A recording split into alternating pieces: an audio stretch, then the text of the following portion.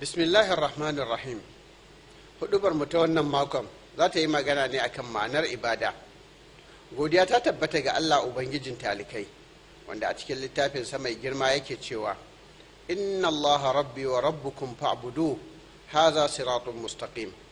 Ma'ana lallai allah shine ubangiji na kuma ubangijinku. Saboda haka ku bauta masa wannan ita ce hanya madaidaiciya.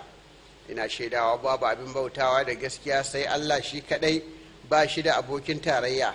Ina kuma shaida cewa lallai shugabanmu kuma annabinmu muhammad bawan allah ne kuma manzansa ya allah ubangiji ka kara masa tsira da aminci da albarka shi da alayensa da sahabbansa da duk wanda ya bi tafarkinsu da kyautatawa har zuwa ranar sakamako. Bayan haka lallai ibada tana da babban matsayi da mukami maɗaukaki. Ita ce babban manufar da saboda ita ne allah subhanahu wa ta'ala ya halicci halittunsa. Allah mai girma da ɗaukaka yana cewa wa ma khalaqtul jinna wal insa illa liya'budun. Ma'ana ban halicci mutum da aljani ba sai domin su bauta mini. Haka ma mai girma da ɗaukaka yana cewa wa ma arsalna min qablika min rasulin illa nuhi ilaihi annahu la ilaha illa ana fa'budun. Ma'ana kafin kai ba mu aiko da wani manzo ba face mun yi masa wahayin cewa lallai babu abin bautawa da gaskiya sai ni don haka ku bauta mini. Lallai ibada ne aikin dan adam na dukkan rayuwarsa. Imam hassan al-basari yana cewa lallai allah bai sanya wa aikin dan adam wani lokaci ba in ba mutuwa ba. Duk wanda ya lura da shari'ar musulunci zai ga cewa tabbas ibada tana da ma'anoni guda biyu. Ma'ana ta farko gamammiyar ma'ana ce mai faɗi ta kunshi dukkan ƙofofin alkhairi kamar neman arziki da kyautata ɗabi'u da gaskiya wajen zance da yafewa wanda ya yi kuskure da gyara tsakanin mutane da ciyar da iyali da ɗaukan ɗawainiyarsu da sauran ayyukan alkhairi da biyayya allah maɗaukakin sarki yana cewa لا خير في كثير من نجواهم إلا من أمر بصدقة أو معروف أو إصلاح بين الناس ومن يفعل ذلك ابتغاء مرضات الله فسوف نؤتيه أجرا عظيما معنى amma fi yawan lokuta babu wani alkhairi a tattare da mutanen da suke ɓoye maganganun da suke yi a cikin zukatansu ko waɗanda suke yi tsakaninsu da junansu saboda sharri ne ake ɓoye shi sai dai idan abin da aka ɓoyen ya zamo bayar da umarni ne da yin sadaka da aikata aiki mai kyau ko daidaita tsakanin mutane da gyara zumunta waɗannan kam dukkan alhairai ne duk wanda ya aikata haka saboda neman yardan allah maɗaukakin sarki to kuwa lallai allah maɗaukakin sarki zai ba shi babban sakamako a nan duniya da lahira saboda abin da ya aikata. Annabin musallallahu alaihi wa alihi wa sallama yana cewa dukkan gaɓoɓin jikin mutum suna da nasu sadaka. A kowace rana ta duniya ka daidaita tsakanin mutane biyu sadaka ne ka kuma taimaki wanda wato wani akan dabbarsa ka ɗaura masa kayansa a kanta ko ka sauke masa kayan da yake kanta shi ma sadaka ne. Kalma na mai daɗi ma sadaka ce. Kowace tako da za ka yi zuwa masallaci sadaka ne. Haka ka kawar da ƙazanta a hanyar mutane sadaka ne. Haka ma a raya ƙasa ta hanyar noma da samar da masana'antu da kyautata ayyuka ta yadda za a samu amfani ga ɗaukacin al'umma. Hakan kuma ya zamo sanadi na ci gaba da ɗaukakan ƙasa. Duka suna cikin ibadun da allah maɗaukakin sarki yake so. Allah mai girma da ɗaukaka ya nemi ɗan adam da ya aikata haka inda yake cewa huwa an sha'akum min al-ardi wasta'marakum fiha. Ma'ana shine ya farar da halittan ku daga ƙasa ya kuma nemi da kuraya ta. Annabin mu sallallahu alaihi wa alihi wa sallama yana cewa lalle mutumin da Allah maɗaukakin sarki ya fi so shine wanda ya fi amfanar mutane. Kuma mafi alkhairin aiki a wurin Allah maɗaukakin sarki shine farin cikin da ka shigar a cikin zuciyar musulmi. Ko ka yaye masa damuwa ko ka biya masa wani bashin da ake binsa ko ka kori yunwar da take damunsa na rantse da Allah tafi in biya wa ɗan uwana wata buƙata tasa. Ya fi alhairi a kan in yi itikafi a wannan masallaci nawa. Yana nufin masallacin madina na tsawon wata ɗaya. Duk wanda ya tafi tare da ɗan uwansa akan wata buƙata tasa har ta biya to kuwa lallai allah zai tabbatar da digadigansa a ranar da ƙafafuwa suke zamewa.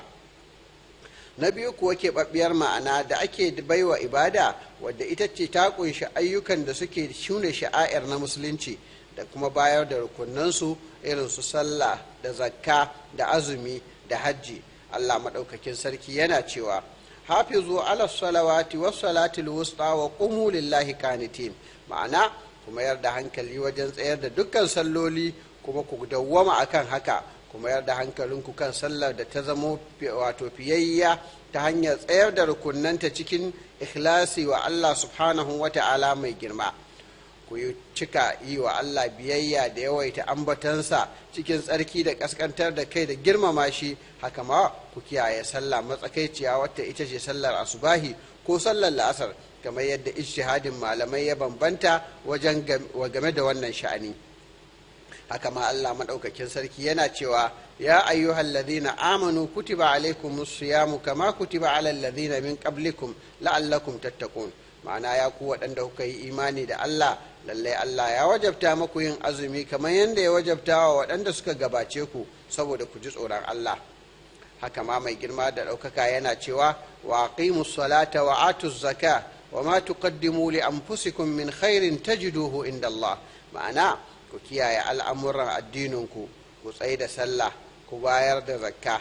Duk abin da kuka gabatar na kawunanku na kyawawan al'amura da sadaka za ku sami ladansa a wajen Allah maɗaukakin sarki. Lallai Allah ya san abin da kuke aikatawa sani irin wanda yake ganin komai da komai.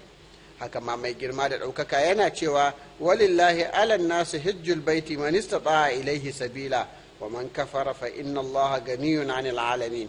Ma'ana kuma hajjantar wannan ɗaki ya wajaba akan mutanen da suke da iko. Duk wanda ya ƙi ya kuma yi taurin kai akan umarnin Allah ya kuma musanta addinin Allah to lallai asarar hakan za ta dawo kansa ne. Allah mawadaci ne ga barin halittunsa baki ɗaya. Godiya ta tabbata ga Allah ubangijin talikai.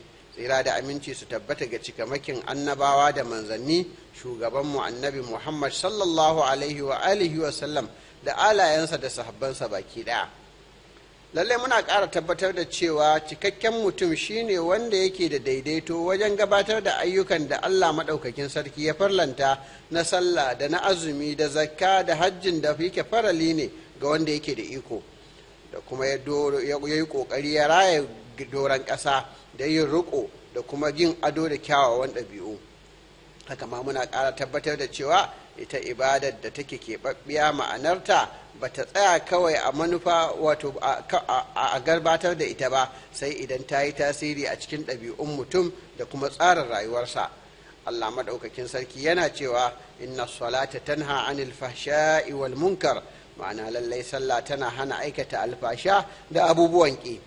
Annabi musallallahu alaihi wasallama yana cewa idan ranar azumin ku yayi kada ku yi zancen batsa kada kuma ku yi fada-fada idan wani ya zage ku ko ya neme ku da fada to ku ce masa mu muna azumi. Haka ma sallallahu alaihi wa alihi wa sallama yana cewa lallai an aiko ni ne saboda in cika kyawawan ɗabi'u.